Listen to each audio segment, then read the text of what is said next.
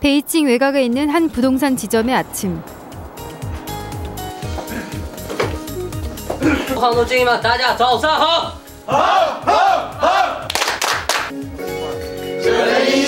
서로 격려하는 구호를 외치고 노래를 부르며 일과를 시작하는 자오광희 씨는 이 지점의 베테랑 중개사입니다. 昨天呢，应该是签了三套，签了三套，然后定了 两套，就知据我所知道的知了两套两套定金。 중국의 부동산 시장이 커지면서 그가 하는 일도 많아지고 수입도 좋아졌습니다. 하지만 그는 중개사로 일하면서 요즘처럼 후회되는 때가 없다고 말합니다. 你现在后悔啊？肯定后悔啊！去年比比比今比现在那 房价涨了不只是几十万了，上甚至上百万了。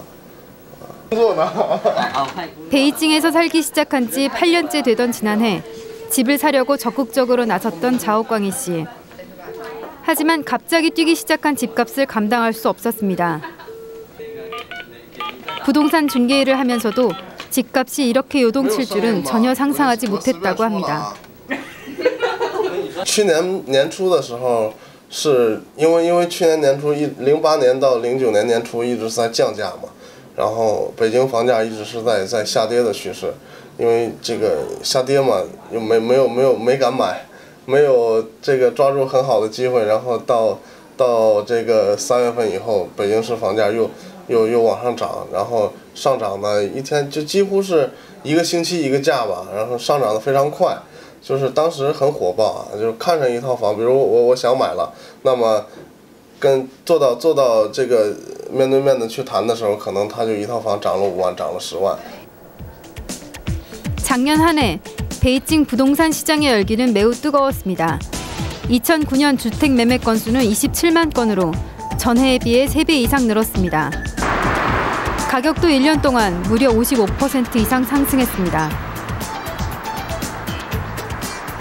八年的时候，因为金融海啸，那市场非常的不好，那么所以很多零八年本来应该要产生的一些购房的需求，呃，递延到了零九年。那第二个因素呢，是政府它很多的优惠政策，包括在利率上的优惠、二套房买二套房上面的优惠、税费上面的优惠。那这些多管齐下的一个优惠政策，使得这个呃零九年的这个买方呃非就是购房的意愿非常的一个踊跃。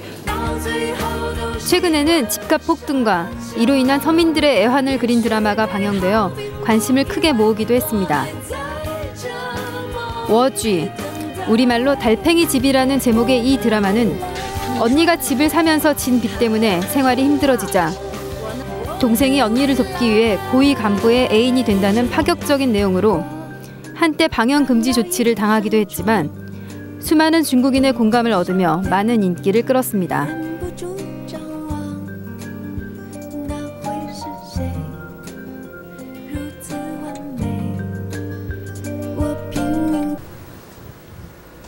드라마 달팽이 집의 주인공처럼 아파트 지하방에서 시작해 2년 전 겨우 집을 마련한 순란 씨 역시 이 드라마의 팬입니다.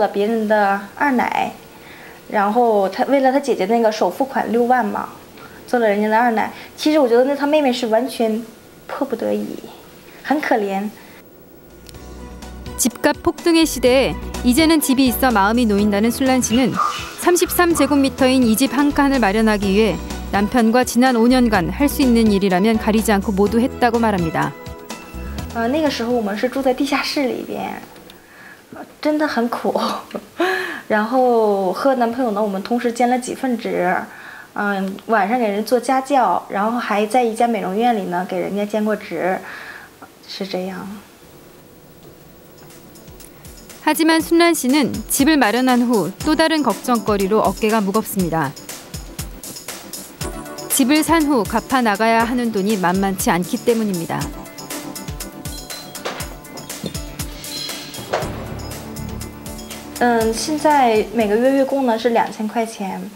最困难的是最最困难的事情呢，嗯，我觉得是以后的事情，孩子要出生还要赡养父母，因为现在我们每个月我们两个收入是八千块钱，压力是嗯一定是有的，但是我们两个呢是节衣缩食吧这样的，嗯，买东西呢都是赶上人家打折的时候去买，生活用品什么都是看到了打折最低价的时候买回来，嗯，平时不去买那些原价的东西。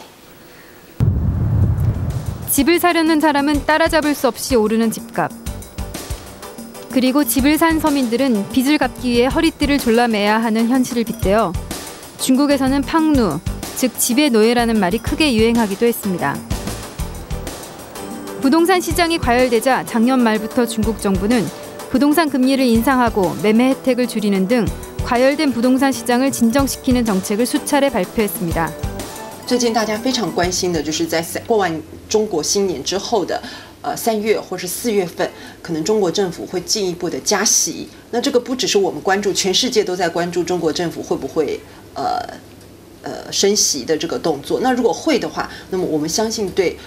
呃当前的这个已经趋于冷淡的房地产市场会有一个进一步的一个打压或是调控的力量就会出现了。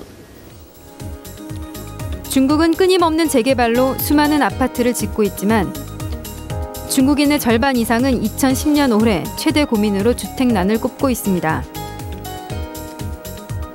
최근 중국이 펼치는 긴축 정책이 서민들을 집의 노예에서 벗어나게 해줄지 주목되고 있습니다. 세계는 지금 이승합니다.